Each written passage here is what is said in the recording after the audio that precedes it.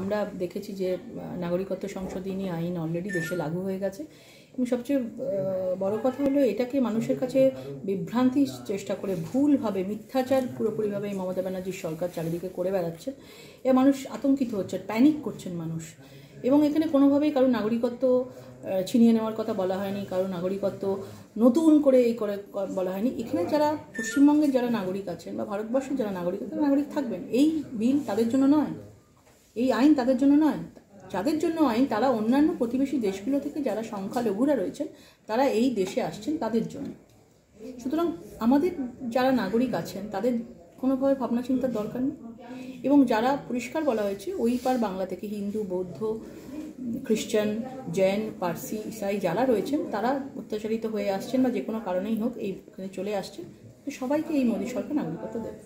এটাই মানুষের কাছে প্রচার করা এবং সবচেয়ে বড় কথা হলো কোনো কাগজপত্র লাগবে না। কোনো কাগজপত্র লাগবে না। একদম নির্দ্বিধায়, একদম নিশ্চিন্তে তারা থাকতে পারেন। তারা যেভাবে রয়েছেন, তারা সেইভাবেই থাকবেন।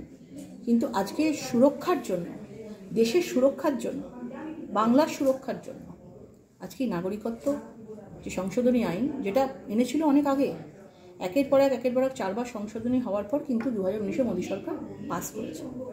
এটা নিয়ে আমাদের বাড়ি বাড়ি প্রচার। বাম কংগ্রেসের তো এখন সর্বশেষ অবস্থা।